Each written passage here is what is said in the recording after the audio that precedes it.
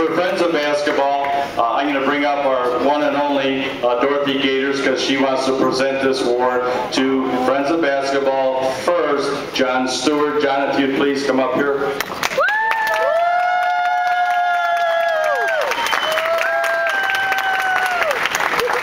Mr. John Stewart, he asked that I make this presentation, and I'm, I'm more than honored to do that.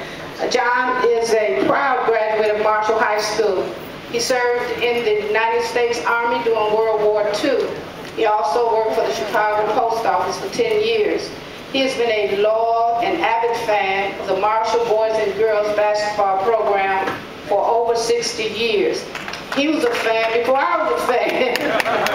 Through the years, John has followed, has followed the careers of Hall of Fame coaches Malcolm Hemphill, Luther Bedford, and Al Williams. He was at Marshall 19, he was at Marshall's 1958 and 60 boys city championship. For years, John has attended almost every game coached by none other than myself. Uh, John says, I love boys and girls high school basketball.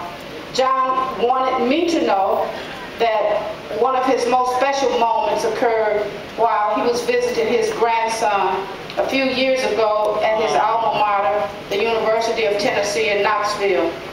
They toured the Women's Basketball Coaches Hall of Fame, and uh, he, he said he became teary when he saw that I was an inductee. So I'm, I'm more than more than pleased to have known Mr. Stewart and very honored that he has received this award. All right.